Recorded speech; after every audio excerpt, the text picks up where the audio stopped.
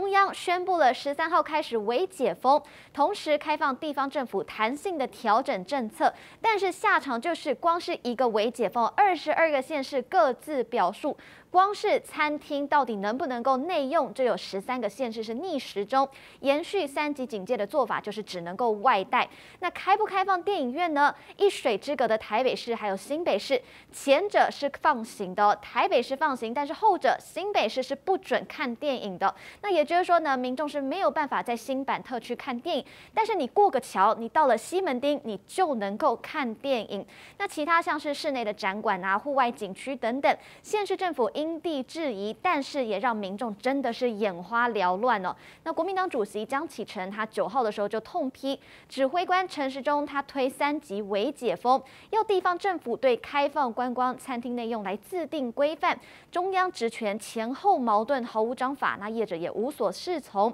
地方政府有责无权。所谓的伪解封，其实就是中央政府不敢扛责，给不出疫苗的伪解封。那他就解释了这个。伪解封之乱即将来临。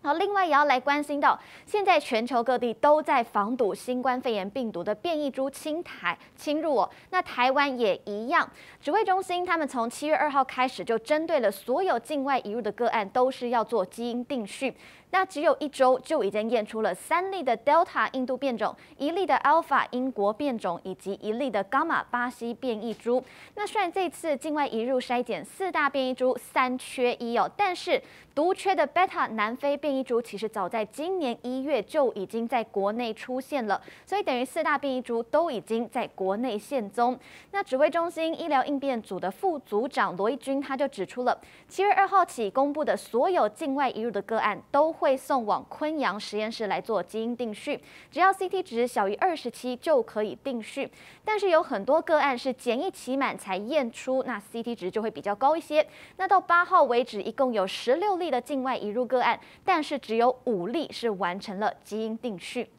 另外，再来看到指挥中心在八号晚间的时候，是突然开放第九类以及五十到六十四岁的第十类对象来进行疫苗意愿登记。截至目前，已经有超过两百多万人完成了登记。不过，指挥官陈时中他是指出了，登记排序不等于施打的排序哦。那至于登记的民众能不能够打到疫苗，指挥中心也没有给出一个明确的答案，就引发民众质疑。所以现在这两百多万人是登记开心的吗？那国民党九号召开了记者会，文传会副主委黄子哲，他是再批意愿登记系统就形同安慰剂，以为有登记就有希望，让民众望梅止渴，忘记疫苗不足这样的事实，就痛批政府这样的举动，其实呢不做实事，继续摆烂，不满蔡政府疫苗乱象，由学医。学艺、社医等跨界的人士，他们组成了一个“给我疫苗行动联盟”。那面对疫苗不足掀起的接种乱象，今天下午一点半到三点半之间，将会以怒气包围毒夫底，卷起袖管打疫苗，在总统府周边的道路绕行，向蔡总统来表达愤怒。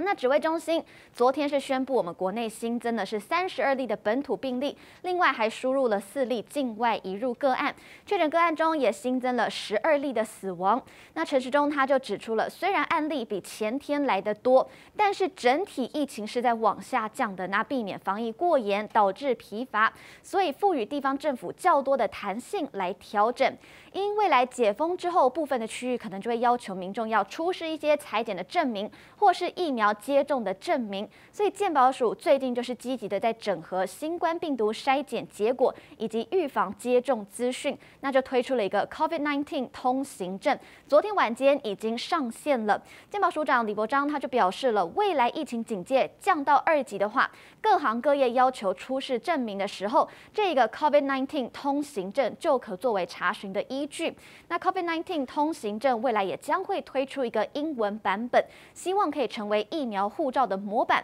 所以到时候国人出国的时候能够直接点开这个 App 就出示内容。不过还是要先取得国际的认同，才有办法推行。